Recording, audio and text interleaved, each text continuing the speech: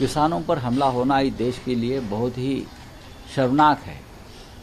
ये एक प्रकार से तालिबानी मानसिकता है, जो किसान दो साल से अपने न्याय के लिए बैठे हैं, गाजीपुर बॉर्डर पे हरियाणा बॉर्डर पे जो किसान अपने न्याय के लिए आवाज़ उठाते हैं।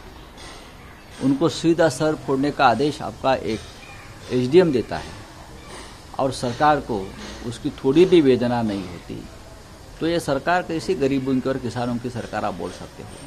आप किसानों के मन की बात नहीं सुनते। जिस दिन जालियावान, जालियान वाला बाग का स्मृति दिन, मेमोरियल कुछ कार्यक्रम चल रहा था, हिंदुस्तान के स्वतंत्रता संग्राम को पचहत्तर साल हो गए।